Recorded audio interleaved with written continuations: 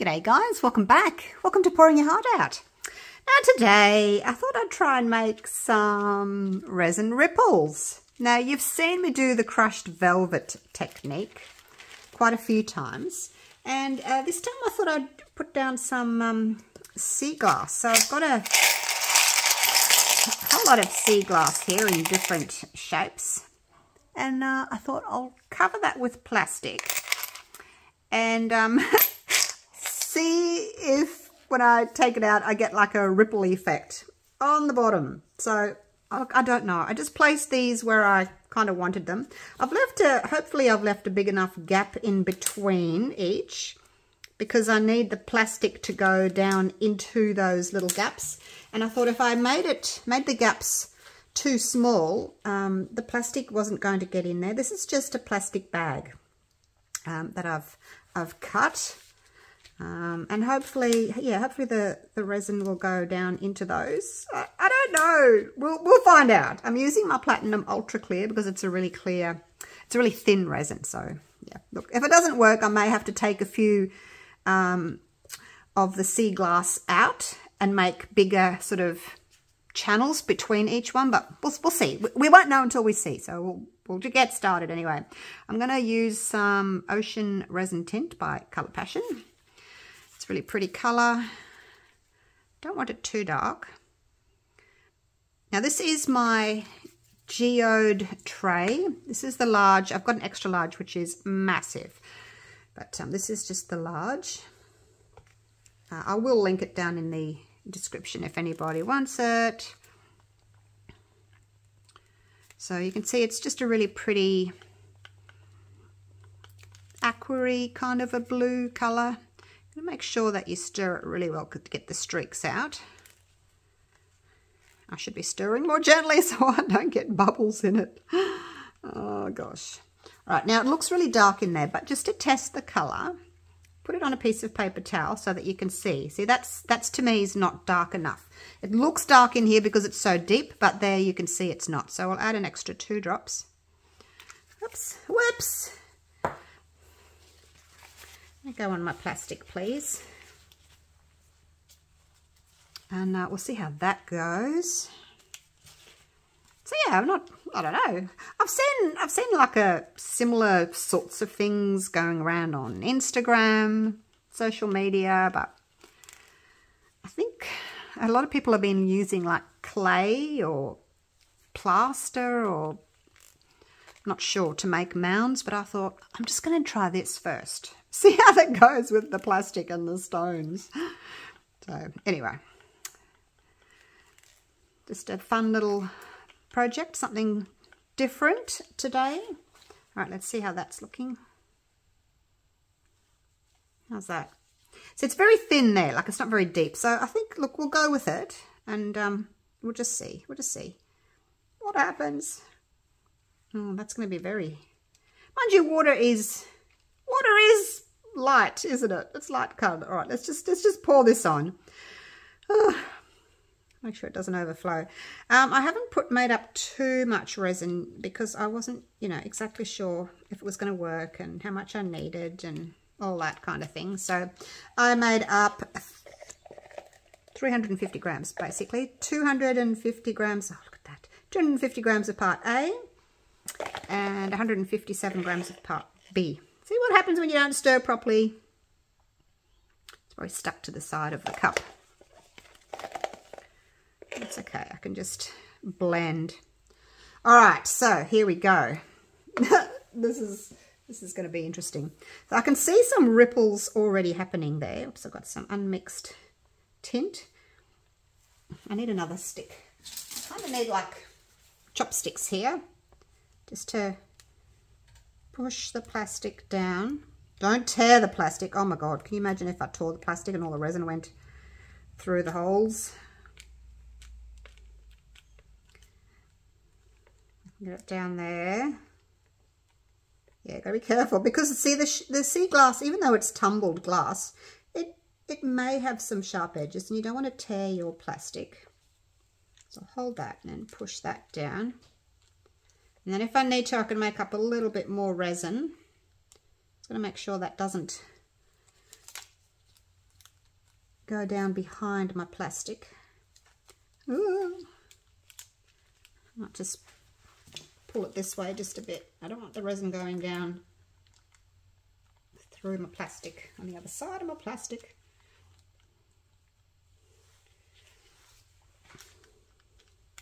So far so good you guys, so far so good. Oh gosh. Get in there Get in there. So I hadn't really thought too much about what the edges were going to look like because, you know, I've got crinkled plastic in there. But I think it's just going to be one of these things where it's just going to be a bit sort of artistic. Plastic sticking to the side there of the mould. I need to lift it up a little bit. Yeah, just a bit sort of artistic and maybe not as finished as one would normally do. Oops, I shouldn't have laid that down. Um, but yeah, we'll just we'll just see. Now I've got to be careful that I'll be careful that this edge doesn't go under. Probably could have used a bigger bag. but um, my bigger bags are um, a thicker plastic like a, a 100 UM, thicker plastic. This one I think is only like a 50 UM and I wanted it to be really thin so it would go into all the little crevices. So anyway, I will just play with this a little bit more. Kind of got to release the edges so that I can move it, move the plastic into the center like that a little bit more. Push it in. But basically it's looking fab. Now, be, really be careful when you torch, okay, if you're going to torch. I probably wouldn't torch because you're going to melt the plastic bag, okay? So don't do it. How's that looking? I think that's ripply enough, isn't it? Is that ripply enough? Maybe just a little bit more. You've going to kind of release the plastic from the side so that you can push it forward. I don't think it needs to be really, really deep ripples. Just going to make sure we get into all the little edges here. And I'll spend some time doing that, getting into all the little edges. Um, and then, I think what I'll do, I think what I'll do is, I'll just try and trim these a little bit, so that they do kind of stand straight up, like so. How's that? Let's try and trim them because, yeah, I need the edges of the plastic bag to kind of stand straight up and not, that way they, um, the resin will go into the edges there. All right, um, you probably don't want to watch me trimming all this and then just, I'm just going to have a fiddle, you know what I'm like, and uh, make sure that we've got the resin into all those little, little edges. I've got plastic bag stick to my stir stick. So you can see what I mean about having gaps in between. Got to have your gaps in between your, all your pebbles. Otherwise, um, you know, the plastic's just going to go right over the top. It's not going to go in between there. I think I do need to get a little bit more in between. I'm going to pull the plastic out a little bit and see if I can get a little bit more into the middle there a little bit more rippling going on. Oh, it's looking really good though. It's looking really good. Oh my gosh. All right, I'll bring you down in a second. You can just have a look and see what it's kind of looking like from my angle.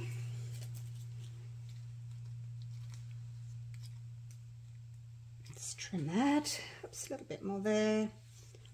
Not too much. In case you want to tuck a little bit more into the center. All right. It's looking good. Let's go down and have a little look and then I will keep fiddling until I'm happy with it. Oh, ring lights. Ring lights do my head in. But you can see, hopefully you can see what I mean.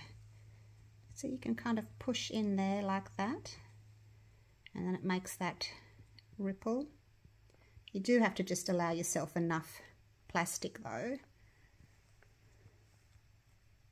So yeah, so I'm going to go around and I'm going to push push it all in around the edges because I haven't done, oh, that one's, oh, I shouldn't have cut it all off. So anyway, this, this is going to be in my tray. And then once this is cured, um, yeah, I think I can, think I can put the handles on, can't I? Yeah, yeah, I can. I can put the handles on. I'll just wait a little bit until it's kind of thickened a little bit. Um, and then I'll come back and I want to show you what I'm going to do for the handles. It's, oh my God, it's going to be amazing. It's going to be amazing if it works. All right, see you soon. Righto, I am back for the second layer. And uh, I had a bit of a trouble with the first one. This may look a bit different to you because it is. So when I came back to check it about an hour later, um, I'd noticed that I was getting this ripple effect on this side and then that side was just just blue and I thought, oh, what's going on here? And I lifted the plastic and the resin was underneath. So all I can think of when I was pushing the plastic down that it must have, one of the pieces of glass has sliced through the plastic because, I mean, it is glass and there were a couple of sharp edges. So I picked it all up, threw it out, had to clean off all my pebbles, all my sea glass with um, isopropyl alcohol. I've got a bigger piece of plastic this time. same, um, same thinness. Um, the thicker plastic just does not get into all the little grooves enough. So got to use a thin plastic. Um, and the only thing I did differently was um, the gaps between the sea glass, I made them bigger. So instead of having gaps that, that big, I had gaps this big this time. Just to try and get the plastic in the gaps without it tearing. Okay, so that's all I did. And then I've got my top coat. Ooh. Touch the bottom in there. Oh gosh. I'm not having a good day today, I tell you. Now, I've just put one drop of the same blue in here. I don't want to make it any darker than what it already is. So, um, the bottom is, the first coat is just tacky. So, this next coat is my Platinum 360 Plus um, because I know it's going to go off pretty quick. So the first layer and the second layer probably go off at the same time. The bottom one takes longer to cure, the top one takes less time to cure, but it's going to be on there for less time. So hopefully they'll both just finish together. All right, push that to the edges. I can't really see where it's starting where it's stopping. So, and then um, once this has gone a bit sticky, tacky, we'll pop the handles in. Yeah, I'm not quite sure what the edges are going to do. They're probably not going to be all that beautiful and smooth because it's going to be kind of ripply because of the the plastic, how it goes around the bends there. Like it's not going to be totally smooth. But I guess if you wanted to, um, you could, to be easy, you could just do it in a round tray. Get yourself a round tray um, or a rectangle tray, a square tray, anything that might be a little bit easier than trying to go around bends like I've gone. I made it difficult for myself. Um, but yeah, I guess if I'm not real happy with the edges, I can always sand them. And then um, give them a coat with a silver pen, which is what I was kind of thinking of doing anyway. Um, but yeah, you could definitely go around and, and sand those edges. So I may well do that. If it works out really pretty, um, I'll just get my Dremel and um, do, do the edges and then go over them again with a silver pen. Because once you've sanded the resin, um, you get that sort of cloudy look to it. Um, and they're not going to be shiny again, so yeah, you just have to go around with the silver pen, which I think would look nice. Um, so that's pretty much it. I think it's full. Uh, it's, probably a little bit fuller than the actual mold, but because I've got the plastic there, it's um, it's kind of creeping up a little bit. But I mean, you could take take a little bit out. Mm, not much really. I think it'll be fine. So yeah, um, I'm not exactly sure, you know, what it's going to look like once it's done. Because once I take once I take it out of the mold, uh, lift it up, I guess, with the plastic on it, all the sea glass will stay behind and I can reuse them. Um, peel the plastic off and then the back, the underside is going to be all bumpy, which will be the bottom of your tray. But hopefully we'll still be able to see that um, rippled effect, especially with the light on it. So, I don't know what that is. It's a bit of glitter in there. How about we just get that out now? Now, it might have been stuck to my cup, and then when I, my back of the bottom of the cups hit it. All right, so I think that's about it. Um, do you want me to show you now what the handles are? You might have seen already. They were over there, over there. All right. Are you ready? Are you ready for this? Are you ready for this? Okay. Are you ready? Drum roll, please. Ta-da. These are going to be my handles, you guys. Aren't they gorgeous? Little turtles. I think they, you know, thick enough that you can hold on to. I must get the paper off, I guess. Eh, it's not going to come off. Anyway, um, I'm going to put one here and one here. And they're going to be my handles. I just can't. I just can't. I just... Oh. Anyway. So we'll wait until it's tacky enough because if I put them in now, uh, the resin's like that deep, they're just going to sink. So let it come nice and tacky and then I'll just sit them on, maybe push them down a little bit. Um, yep, and all, all good because at the moment, um, let's see, it's about, I don't know, can you see the it's about half a centimetre deep at the moment, so I don't really want to go putting my turtles in there because then I'm going to lose... Hmm, might be alright. I'll just lose about that much from there, I guess. But I want to be able to have a nice... be able to hold on to them, so I really need that depth. Alright, so um, I'll see you in a few hours and uh, we'll put our handles in. Okay, guys, so I have been thinking about I didn't end up taking the paper off. um, I was thinking about which way to put these little guys. And um, one will see that. And I thought, well, if I put them this way, the fin or flipper is going to stick out quite a long way. Um, if I push it further over, the flipper is going to be hanging over the edge. I don't know whether I should do that. And then I thought, well, what about if I put it that way? Because it's narrower there and then wider there. And then I thought they could kind of be looking at each other. So I can't really decide if I want to do them this way. I can't. If I do it that way, the flipper's are going to be hanging over. Is that going to, see, if I try to sand the edge, that's going to hit. So I thought, oh, look, I'll just do it this way, shall we? We'll just do it this way. So um, because it's got a nice curve there and that's got a nice curve there. So I think that should look quite nice, shouldn't it? So we'll just put it there, push him down. The same on this side. I know it's slightly different shape, but hopefully it'll it'll work. I'll just put him there and then I'll look at them and then I can decide if I want to move it a tiny bit, tiny bit back. Okay, push him down. All right good to go. Now, in the morning, um, I'll be able to take the plastic off. I'm not going to touch it now. I'm not going to. I want to, but I'm not. So there we go. So that's kind of what it's going to look like. So, um, yeah, I will see you guys tomorrow. Righto, it's the next day. This has set. My little turtles are hanging on there. So, I guess there's only one thing left to do, hey? we get this plastic out. That, that came out easily, didn't it? Oh. I can take all... Oh, there's, there's, there's a couple of bits left. Hang on. There we go. I thought they were all out. Get all those out. I think that's all of them. So these... Um, oh, yeah, I can use again.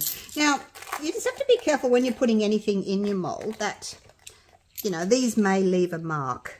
Um, you know, when you're doing the um, uh, the water drop effects, you know how you put the UV resin on, the little dots, and sometimes when you take them off, you see the little dot marks. So you just got to be careful. Um, I think if you're going to do anything like that, maybe use an, an old mold or um, put down a piece of plastic first, like cut your plastic first, um, and then, oh, there's another one. there's another one, gosh. And then put them down, just so it doesn't leave any marks on your mould. But, all right, let's get this plastic off.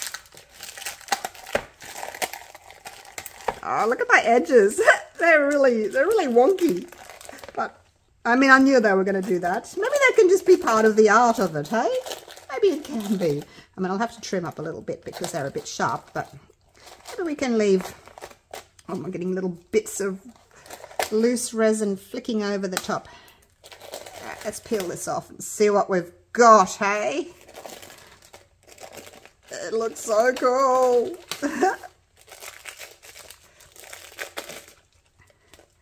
It's actually quite thick too. It's about half an inch, oh maybe not quite half an inch, 10 or 12 millimeters thick. Peel that off. There we go.